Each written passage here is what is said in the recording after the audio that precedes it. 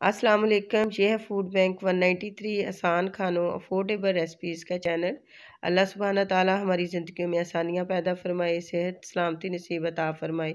आज मैं आपको हलवाई स्टाइल का गाजर का हलवा, जिसमें के दानेदार खोया नज़र आता है, उस तरह का बनाने का तरीका बताऊँगी। इस वीडियो का हर स्टेप बहुत ही अहम है। आपने इसको बिल्कुल भी स्किप नहीं करना।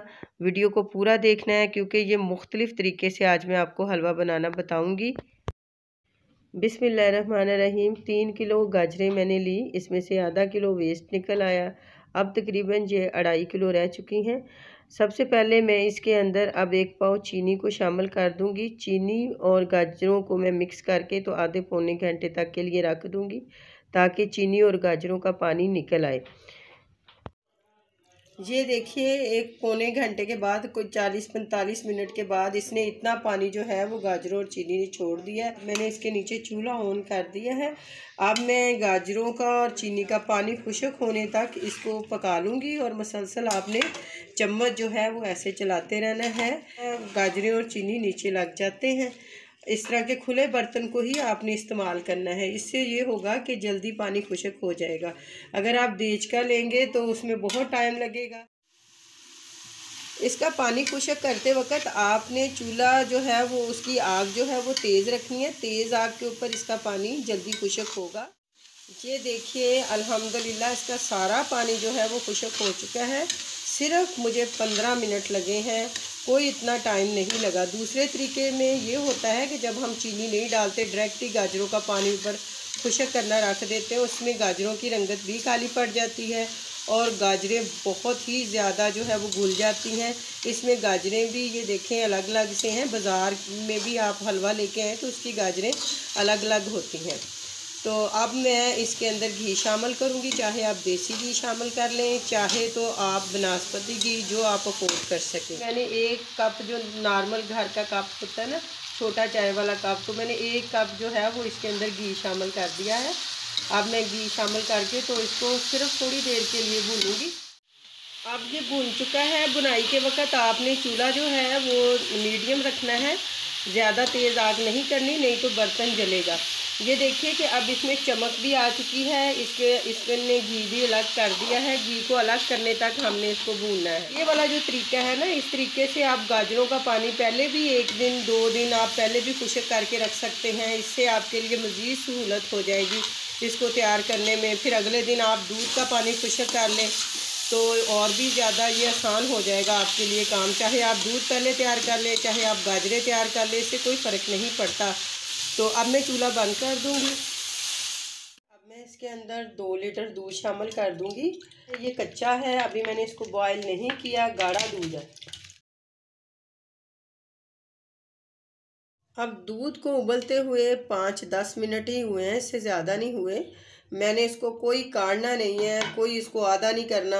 अब जब इसको पाँच दस मिनट हो जाएँगे, ये इस तरह से पकते हुए दूध को कटते हुए अब दूध के हिसाब से इसके अंदर लीमू का रस शामिल करेंगे। इधर मैं ये दो खाने के चम्मच इसमें लीमू का रस शामिल करूँगी। और इसको आहिस्ता आहिस्ता से हिलाऊँगी। लीमू का रस डालने से इसका टेस्ट जो है वो बिल्कुल भी ख़राब नहीं होगा। लीमू का रस पटकड़ी या फिर आप इसके अंदर सिरका शामिल कर सकते हैं। इतनी मकदार में शामिल करना है, ये आहिस्ता आहिस्ता से पटे बहुत ज़्यादा आपने शामिल नहीं करना। तो अब मैंने इसको शामिल किया तो अब दूध अभी नहीं फटा, लेकिन गाढ़ा होना शुरू हो चुका है। तो मैंने टोटल इसके अंदर तीन खाने के चम्मच लीमू का रस इस्तेमाल किया है। तो अब रस डालने के बाद इसको मैं ऐसे मुसलसल इसके अंदर चम्मच फेरती रहूँगी और आग को आपने तेज़ रखना है। देखिए, ये इस तरह की कंडीशन में आ चुका है। अब ये खोया बनने के लिए बिल्कुल तैयार है। आज अगर दूध और गाजरों को मिक्स कर दिया जाए तो जिस्मानी ताकत भी बहुत ज़्यादा लगती है बाजुओं का ज़ोर लगता है, दोनों चीज़ों का पानी खुशक करने में कितनी आसानी से मैंने गाजरों का पानी खुशक कर लिया सिर्फ़ और सिर्फ़ पंद्रह मिनट में। और इसको लगे हैं यहाँ तक पहुँचने में दूध को पूरे तीस मिनट।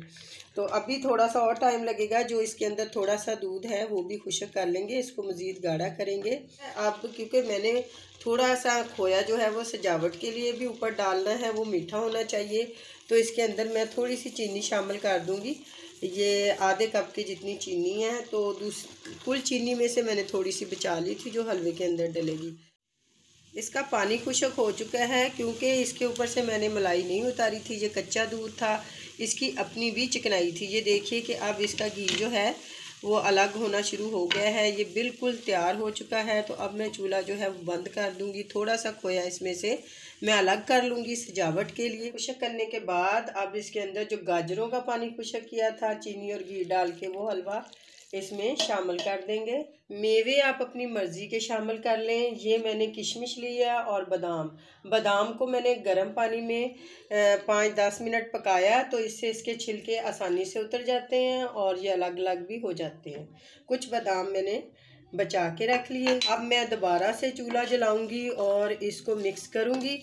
थोड़ी देर ही इसको पकाना है, अब ज़्यादा नहीं इसको पकाना, क्योंकि दोनों चीज़ें जो हैं वो पक चुकी हैं। देखें कैसा बाज़ार जैसा दानेदार खोया इसके अंदर नज़र आ रहा है। अगर हम दूध और गाजर को मिक्स करके पकाएँ तो ऐसा दानेदार खोया हमें कभी भी नज़र नहीं आता। तो कितना आसान है इस तरीके से बनाना। हमारी जिस्मानी मशक्क़त भी कम लगती है और बहुत ही परफेक्ट गाजर का हलवा जो है वो बन के तैयार हुआ है।